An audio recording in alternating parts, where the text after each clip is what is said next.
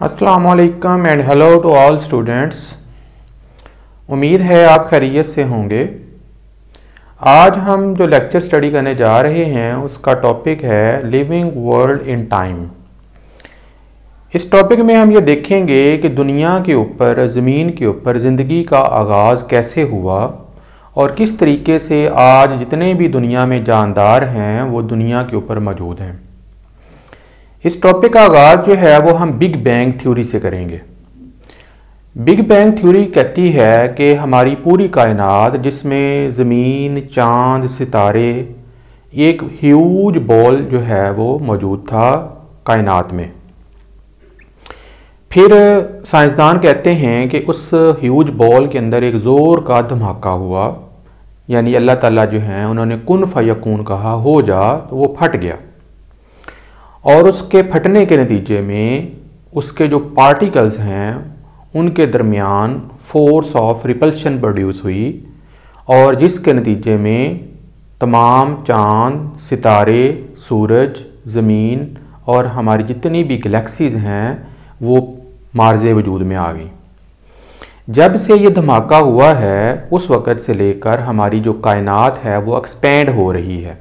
I think it is due to force of repulsion कि उनके दरमियान एक फोर्स ऑफ़ रिपल्शन पैदा हुई है, जिसकी मदद से वो तेज़ रफ्तारी के साथ एक दूसरे से दूर भागी जा रही है।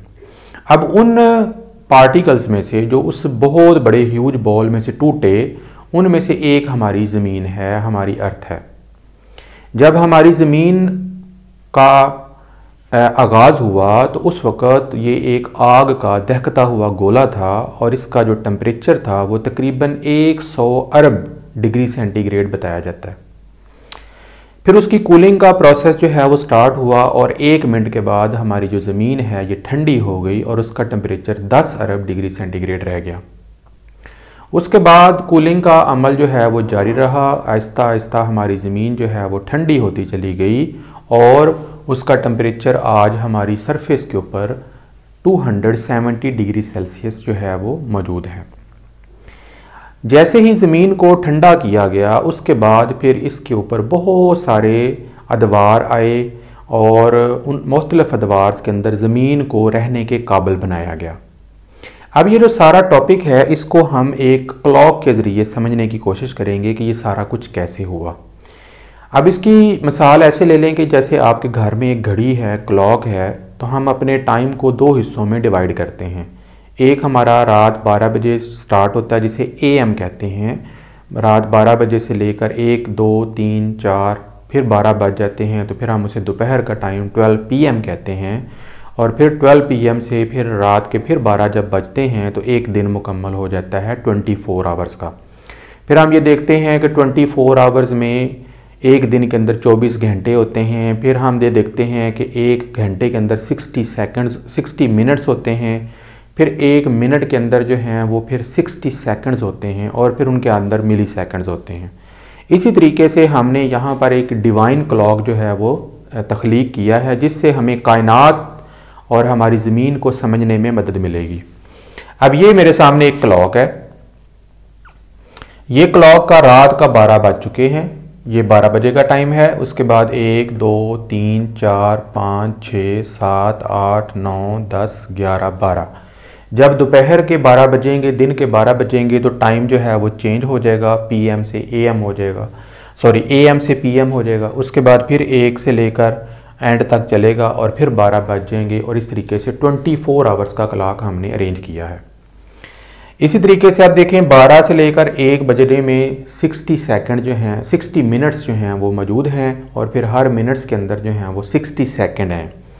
लेकिन ये जो क्लॉक है, ये हमारे टाइम क्लॉक जैसा नहीं है, क्योंकि जैसे जैसे आप बुलंदी पर जाते हैं, टाइम क्लॉक चेंज हो जाता है।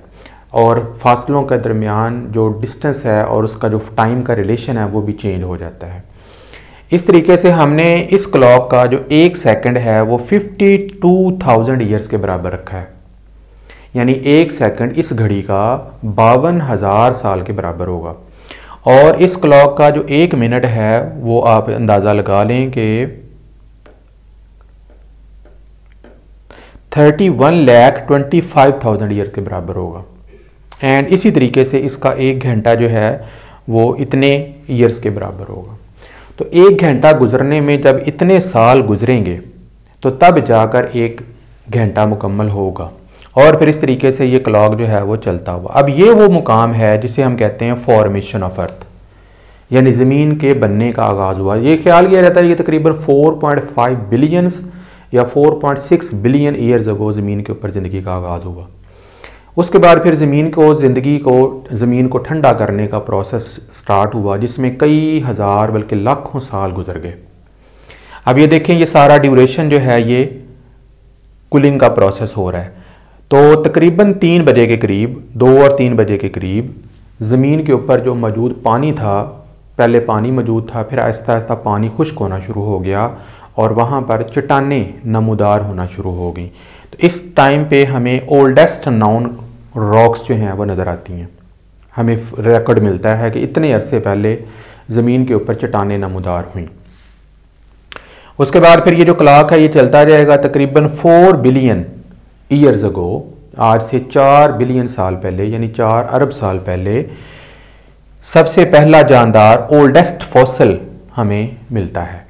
और वो है प्रोकैरियोट जो कि बैक्टीरिया हैं। और बैक्टीरिया जो हैं, वो पानी के अंदर पैदा किए गए, जो फिर हम अलग लेक्चर में देखेंगे किस तरीके से उनकी फॉर्मेशन हुई। उसके बाद तकरीबन छः बजे के करीब हमें फ़र्स्ट फोटोसिंथेटिक ऑर्गेनिज्म जो है, वो दुनिया में उसका एविडेंस मिलता है कि तकरीबन छः और सात बजे के दरमियान में पहला दुनिया में फोटोसिंथेटिक जानदार प्रोड्यूस हुआ, जिसने ऑक्सीजन प्रोड्यूस करना शुरू कर दी, क्योंकि पहले एटमॉस्फेयर रिड्यूसिंग एटमॉस्फेयर थी, उसमें ऑक्सीजन नहीं थी। अब ज़िंदगी को चलाने के लिए ऑक्सीजन की ज़रूरत थी तो इसलिए कुदरत ने वहाँ पर ऑक्सीजन पैदा करने वाले जानदारों को पैदा किया, ताकि ज़िंदगी का निज़ाम चलाया जा सके। अब ये जो तो क्लॉक है टिक टिक करता चला जा रहा है छः से सात, आठ, नौ, दस, ग्यारह, बारह। दोपहर के बारह बज गए हैं, उसके बाद फिर एक और दो। दो बजे के करीब 2 पीएम के करीब फ्री ऑक्सीजन एटमॉस्फेयर में अब हो गई है। बहुत सारे फोटोसिंथेटिक एलजी प्रोड्यूस हो गए हैं, जिन्होंने इतनी ज़्यादा मकदार में ऑक्सीजन प्रोड्यूस की है कि ऊपर ओजोन की लेयर भी बन गई है और हवा के अंदर भी ऑक्सीजन मौजूद है ताकि ज़िंदगी को सस्टेन किया जा सके। अब अगर आप इनकी कैलकुलेशन करना चाहें तो आप हर घंटे को इतने सालों से मल्टीप्लाई करके अंदाज़ा लगा सकते हैं कि कितने साल बाद ये सारा प्रोसेस कंप्लीट हुआ होगा। उसके बाद फिर आगे घड़ी चलती है, तीन बिलियन साल यहाँ पे हो चुके हैं, फिर यहाँ पे टू बिलियन साल हो गए। टू बिलियन साल पहले सबसे पहला यू कैरियोटिक जानदार बनता है, जिसमें अमीबा लाइक जानदार जो हैं वो बने हैं, क्योंकि अब वो रेस्पिरेशन कर सकते हैं, क्योंकि ऑक्सीजन जो है वो अवेलेबल है। फिर क्लॉक चलता है, चलता जाता है चार, पाँच, छः, सात, आठ, नौ बज चुके हैं। अब ओल्डेस्ट मल्टी सेलर फॉसल तो हमें इस लेवल के ऊपर हमें मल्टी सेलर जानदारों के फॉसल मिलते हैं। यानी इसका मतलब है कि यूनी सेलर जानदारों से मल्टी सेलर जानदार जो हैं, वो डिवेल्प होना शुरू हो गए हैं। उसके बाद फिर थोड़े ही अरसे के बाद हमें लैंड प्लांट्स जो हैं, वो मिल जाते हैं। उसके बाद एक घंटे के बाद एज ऑफ़ डाइनोसॉर्स आ जाते हैं। जब मुख्तलिफ़ अदवार के अंदर फिर अल्लाह ताला ने डाइवर्सिटी पैदा की और एक जानदार से दूसरा जानदार, दूसरे जानदार से तीसरा जानदार बनता चला गया, चलता गया और ज़मीन के ऊपर तरह तरह के जानदार जो हैं वो फैलते। तो ये जो सारा प्रोसेस था, ये इसलिए था ताकि इंसान की क्रिएशन की जा सके, इंसान को दुनिया में लाया जा सके। तो इसमें तकरीबन आप समझ लें कि 4.5 बिलियन चार, साढ़े चार सौ अरब साल जो हैं वो लग गए ताकि इंसान के लिए ज़मीन को एडजस्ट किया जा सके सेट किया जा सके। अब देखें यहाँ पर जो टाइम है, वो हो गया है ग्यारह बज के उनसठ मिनट और थर्टी सेकेंड यानी दोबारा फिर घड़ी का बारह बजने में थर्टी सेकेंड रह गए हैं। अब इस थर्टी सेकेंड से पहले, यानी चौबीस घंटे कंप्लीट होने से थर्टी सेकेंड पहले अल्लाह ताला ने इंसान को दुनिया में तख्लीक कर दिया। हज़रत आदम को पैदा किया और दुनिया पर भिजवा दिया। तो फ़र्स्ट अपीयरेंस ऑफ़ होमोसेपियंस यहाँ पर आती है। इससे पहले भी कुछ इंसान जैसे स्पीशीज़ दुनिया में मौजूद थे, जैसे होमो इरेक्टिस हैं तो वो हम एवोल्यूशनरी पॉइंट ऑफ़ व्यू से जब इसको डिस्कस करेंगे तो फिर हम उसको देखेंगे। लेकिन हम एक अकीदे के मुताबिक अगर हम बात करें तो अल्लाह ताला ने हज़रत आदम और अम्मा हवा को पैदा फरमाया तो वो ठीक ग्यारह बज के उनसठ मिनट और थर्टी सेकेंड पर दुनिया पर आए। अब उसमें तकरीबन अंदाज़ा लगाया जाता है कि कुछ साल पहले कुछ साइंसदान दस हज़ार साल पहले कहते हैं, कुछ पचास हज़ार साल पहले कहते हैं, कुछ पचास मिलियन साल कहते हैं कि उसके उस वक्त तक दुनिया के अंदर इंसान आया। अब हमें नहीं पता कि कितने सेकंड बाकी रह गए हैं। दोबारा फिर क्लॉक के 24 घंटे होने में। लेकिन मेरा जो ख्याल है, वो जब दोबारा 24 घंटे पूरे हो जाएँगे तो क्यामत आ जाएगी। और वो जो कायनात जो एक्सपेंड हो रही है, जो फोर्स ऑफ़ रिपल्शन के ज़रिए एक्सपेंड हो रही है, उसको लपेटा जाएगा। उनके दरमियान फोर्स ऑफ़ अट्रैक्शन प्रोड्यूस हो जाएगी और फिर वो सारी कायनात जो है वो दोबारा एक ही मुकाम पर जमा हो जाएगी, वहाँ पर फिर क़्यामत कायम होगी। उसमें फिर आगे जन्नत, दोजख और जजा और सज़ा का निज़ाम जो है वो कायम किया जाएगा, जैसे डे ऑफ़ जजमेंट का नाम दिया जाता है। तो अब हमें नहीं पता कि कितना सेकंड का अर्सा, ये तो बस एक हमने अपनी थ्योरी के मुताबिक, अपनी इल्म के मुताबिक इसको एक क्लॉक की शक्ल दे दी है, लेकिन एक्चुअल जो ज़ाहिर चीज़ें हैं, वो हम नहीं जानते। वो तो नेचर ही या कुदरत ही या खुदा, अल्लाह ताला बेहतर तौर पर इसको जान सकते हैं। तो इसको हमने एक क्लॉक के ज़रिए समझने की कोशिश की है। तो आई होप कि थोड़ा सा ये कॉन्सेप्ट हो गया होगा। अब अगर हम इसको दूसरी तरफ़ आ जाते हैं तो हमने इसी टाइम क्लॉक को हमने जो है मुख्तलफ़ ज़मानों के अंदर इरा को और पीरियड्स के अंदर डिवाइड कर लिया है। अब ये जो देखें तो सबसे ये पहले जो आपको कॉलम नज़र आ रहा है, ये इराज हैं। इरा कहते हैं बड़े लार्ज टाइम पीरियड को, जो कि ज़माना कहलाता है। उसके बाद हमने ज़माने को पीरियड्स में डिवाइड कर लिया है। इरा जो है has been divided into periods उसके बाद फिर हमने उसकी एज कितने मिलियन साल पहले थी, वो हमने एक कॉलम बना लिया और फिर उसके अंदर जो मेजर बायोलॉजिकल इवेंट्स हैं, उनको थोड़ा सा डिस्कस कर लेंगे जल्दी जल्दी तो उससे हमें थोड़ा सा अंदाज़ा हो जाएगा कि ज़मीन के ऊपर ज़िंदगी जो है वो कैसे स्टार्ट हुई और कैसे निज़ाम जो है वो चलता है। तो सबसे पहले हम नीचे से स्टार्ट करते हैं, ये है प्रोटीरोजोइक इरा जो है, ये बहुत कदीम ज़माना है। जब दुनिया के ऊपर ज़िंदगी का आगाज़ हुआ ऑरिजन जो नफरत हुई तकरीबन 4.6 मिलियन ईयर्स अगो उसके साथ साथ फिर प्रो कैरियोट्स बने तकरीबन 3.5 मिलियन ईयर्स अगो उसके बाद मल्टी सेलुलर जानदार बने इनवर्टिब्रेट्स बने फ्री ऑक्सीजन आई। तो ये सारा चीज़ें मैं आपको यहाँ पे थोड़ा सा एक्सप्लेन कर चुका हूँ। उसके बाद फिर आता है पैलियोजोए किरा पैलियोजोए किरा जो है, उसके अंदर मैंने Permian Carboniferous Devonian Silurian Ordovician और कैम्ब्रियन इरा जो हैं, उनको सब डिवाइड किया हुआ है। वो कितने मिलियन साल पहले हैं, ये आप अपनी बुक से भी देख सकते हैं ज़्यादा डिटेल के साथ।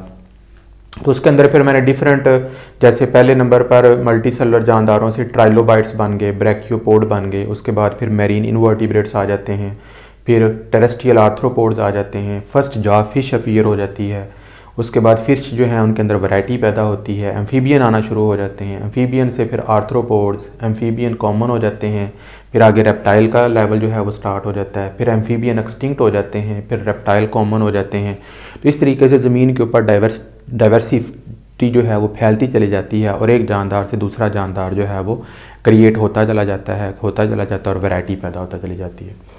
उसके बाद हम दरमियाने दौर में आ जाते हैं जिसे मीज़ोजोए किरा कहते हैं। मीज़ोजोए किरा को क्रिटेशियस जुरैसिक और ट्राइसिक इरा में डिवाइड किया गया है। ये तकरीबन एक मिलियन साल पहले मौजूद था। उसमें डायनासोर आते हैं फ़र्स्ट मैमल बनते हैं, फिर रेप्टिलियन डाइवर्सिटी आती है बर्ड्स बनना शुरू हो जाते हैं। फिर रेप्टाइल जो डायनासोर वगैरह हैं, वो एक्सटिंक्ट होना शुरू हो जाते हैं और मॉडर्न बर्ड जो हैं, वो आना शुरू हो जाते हैं। उसके बाद फिर सीनोजोइकरा जो कि लेटेस्ट जो हमारा दौर है, वो स्टार्ट हो जाता है, जिसको हमने दो हिस्सों में डिवाइड किया। क्वार्टनरी और टर्चरी इरा में, जो कि 0.01 मिलियन या 65 मिलियन ईयर्स अगो हैं। इसमें मैमल जो हैं, वो इवॉल्व होते हैं ह्यूमन इवॉल्व होता है उसके बाद जंगलात कूल हो जाते हैं ग्रास लैंड जो है वो बन जाते हैं और ह्यूमन जो है वो अपीयर हो जाता है। तो इस तरीके से एक स्टेज जो है वो सेट हो जाता है। हम अपनी पूरी ज़मीन की हिस्ट्री को अगर हमने इतने टाइम पीरियड्स में डिवाइड कर लिया है और उसमें देखा है कि किस दौर में क्या क्या होता है और आज के जो दुनिया में जितने भी जानदार हैं बर्ड्स हैं मैमल्स हैं रेप्टाइल्स हैं फीबियंस हैं, इंसान है प्लांट्स हैं फंजाए है, ये कैसे फैले? तो ये एक बहुत वसी पिक्चर है जिसको थोड़ा सा समराइज़ करके आपको समझाने की कोशिश की गई है। इसको हम कहते हैं लिविंग वर्ल्ड इन टाइम के मुख्तलिफ़ अदवार के अंदर दुनिया में किस तरीके से मुख्तलिफ़ जानदार जो हैं वो दुनिया में आए और मौजूद हुए। आई होप कि ये थोड़ा बहुत कॉन्सेप्ट आपको क्लियर होगा। बाकी इसकी डिटेल फिर इंशाल्लाह आने वाले लेक्चरों में मैं मज़ीद आपको साथ डिस्कस करूँगा। तो hopefully see you in the next lecture अल्लाह हाफिज़।